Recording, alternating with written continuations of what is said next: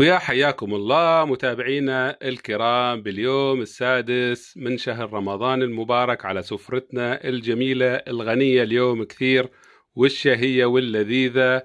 رمضانكم كريم رمضانكم مبارك رمضانكم خير رمضانكم مع نور غير.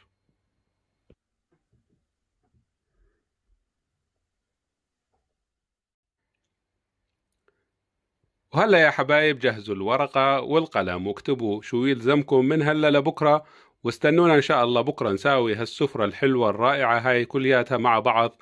خطوة بخطوة وقرب قرب عالطيب الطبق الرئيسي كثير مميز اليوم سبيشال سوينا دجاج بالخضار بالفرن. أي خضروات موجودة عندكم بالبراد استخدموها قطعوها وطبعا الدجاج والتتبيلة شوية بهارات وزيت زيتون.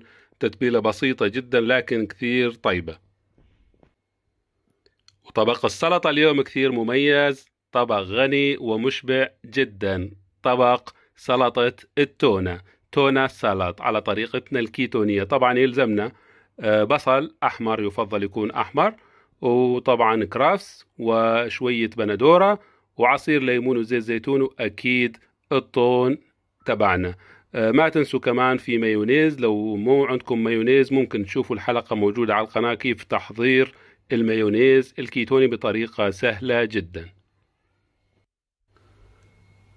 شوربة رهيبة جدا شوربة البروكلي الأخضر آه، سهلة جدا مكوناتها بسيطة وكمان آه، ممكن أي خضار موجودة عندكم تضيفوها على البروكلي.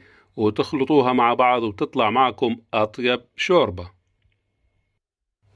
ويا عيني على المقبلات الشامية المقبلات السورية الأصلية الأصيلة. اليوم سوينا حمص بالطحينة على الطريقة السورية لكن keto diet. الحمص بالمناسبة بهالطريقة هاي حمص بطحينة هو keto diet لكن الحمص الحب أو طحين الحمص دقيق الحمص هو مو كيتو. ما بيلزمنا غير الحمص والطحينة وشوية توابل وزيت زيتون وحمض الليمون والثوم.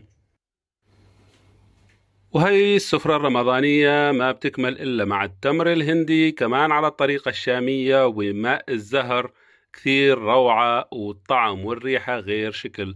يلزمنا بس تمر هندي وماء زهر وسكر ال erythritol فقط لا غير. والحلو يا حلوين اليوم مميز اليوم سوينا كاسترد كيتوني. كاسترد keto diet بأربع مكونات فقط وبأسهل وأسرع طريقة راح تشوفوها على الإطلاق. بس يلزمنا بيض وكريمة وفانيليا وسكر ال erythritol.